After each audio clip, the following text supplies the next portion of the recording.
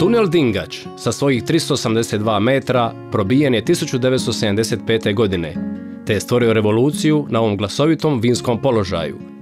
Pristup vinogradima uvelike je olakšan, a magarce s kojima se nekoć prelazilo preko brda zamijenili su traktori i automobili.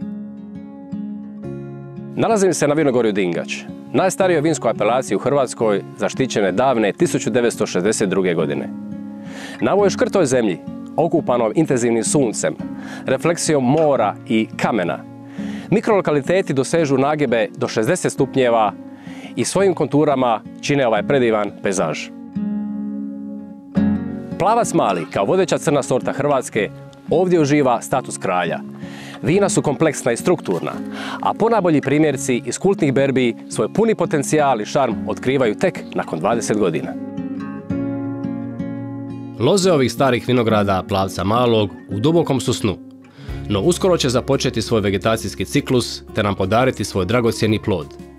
S pogledom u horizont na mljet, lastovo i korčulu, vraćamo se tunelom u potomje, u središte pelješkog vinarstva. Već u prvoj uličici nazire se miris izgubljene Dalmacije. Je drugčiji, vrijeme sporije prolazi i vraća nas u neko drugo doba. Idemo u posjet velikom Vedranu Kiriđi, ikoni dalmatinskog vinarstva. Čovjeku koji je davnih 80-ih rekao zbogom Ameriko i koji ljeti spava tri puta dnevno. Njegovi dingači veoma su kompleksni. Uspoređuju se s burgundijskom kvalitetom te predstavljaju sam vrh hrvatskog vinarstva.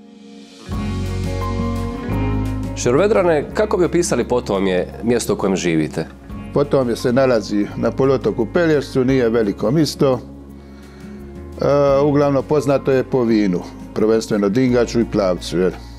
Nas je vino i dingače prvenstveno, održalo tu i kasnije tunel kad je probijen pogotovo. I dan danas svaka kuća u selu ima, ima svoje vinograde, kogo ima više, ko manje, a onda e, život e, seljaka je ipak drugčiji nego neki drugi život gdje ti moraš imati sat, gdje ti moraš alarm da te budi i gleda na sad kad ćeš poći na posao, kad ćeš se vratiti s posla? I neki šef i ovo i ono. Ovdje sam si sebi šef i ako znaš dobro rasporedi posao, imaš vremena i za radit, i za se odmarat, i za hobije, i za obitelj normalno. Moramo ima novaca za živit, ali ima i važnijih stvari. Prije nego što ste postali vinar, bili ste pomorac. Vaše kolege i prijatelji su iseljavali iz Pelješca, no vi ste odlučili reći zbogom Ameriko. Eto, ja sam bio jedan od tih pomoraca koji je u jednom momentu odlučio zamah Americi i pozdravi se s Amerikom. Smijali su se ovi kolege s broda, se smijali da su oni više puta to već čuli i vidjeli i da su opet ljudi vraćali na brod i opet u Ameriku, a ja sam rekao, Amerika me više neće vidjeti. Bilo je drugo dite na putu i onda je grubo odvojenost. Nije bilo onda interneta, nije bilo puno tih stvari. Čekalo se pismo na brodu po mjesec dana. Hej, prvo dite kad mi se rodilo bio sam u Japanu. I onda nije bilo dileme kad sam se vratio sa navigacije, je li odustao od navigacije, čim se baviti? Bavit ću se vinom, lozom. Što za vas predstavlja plavac mali? A plavac mali ha, predstavlja manje više sve. I kad se reče vino, to mislimo na plavac. A za bilo moraš naglasiti bilo vino. Tako da imamo sriću, ja i moji kolege koji imaju isto u Digašu, da imamo tu lozu u Digašu i od toga da proizvodimo vino koje je već prija bilo priznato. Koja je tajna proizvodnje vrhunskog vina? Moje mišljenje da je da je ipak pozicija, znači mikrolokacija, konkretno ode u Dingašu, osnov svega, a iza toga na vinaru stoji ono bitno, onaj dan berbe odredit, evo sutra ćemo. I nema čekanja pa ćemo vidjeti dva, tri, pet dana ja, ima iskustva, ali u ovemu poslu učiš dok si živ.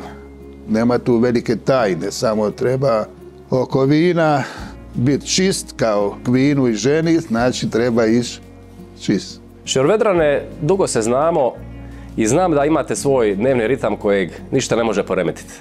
Pa ima tu donekle isma, istina je u stvari. Pa otprilike ritam e, liti je ovaki, diže se oko pet, ono, čim svane, u stvari malo i prije svanuća, do osam sa u baštini, jer uvijek ima nekoga posla, ako ništa drugo bra smokve ili tako što slično i onda iza toga je jedna lagana marenda, odmor, obično bude malo odmora na kauču u klimatiziranom prostoru i prije obida, obid je u podne, to je normalno. Iza obida, iza vijesti se ide leć u posteju na kat, jeli? I kad se jedno uro, dvije, tako, otprilike dvije ure, iza toga se popije kafa i kupanje. I tu nema, ne smije tu niko poremetit, jer to je taki, taki je ovi, plan rada, jeli, odmora kad je čuo jedan milijarder iz Amerike inače, on govori pa koliko je taj bogat. A onda smo se kasnije upoznali, bili smo prijatelji, pa rekao sam mu ja, nije stvar e, u dolarima, u milijardama, to su milijarde dolara. Stvar je što čovjek želi od svoga života, koliko mu je dosta. I tako. Ljepota odležanog vina zadire duboko u dušu i intelekt, šaptajući svoju nježnost i raskošnost. Ono je mudra svog vremena, tradicije i budućnosti. Uči nas strpljenju i vraća nas u suštinu. Baš kao i Vedran Kiriđija. Skroman i jednostavan čovjek koji nam ukazuje na ljepotu osnovnih vrijednosti života.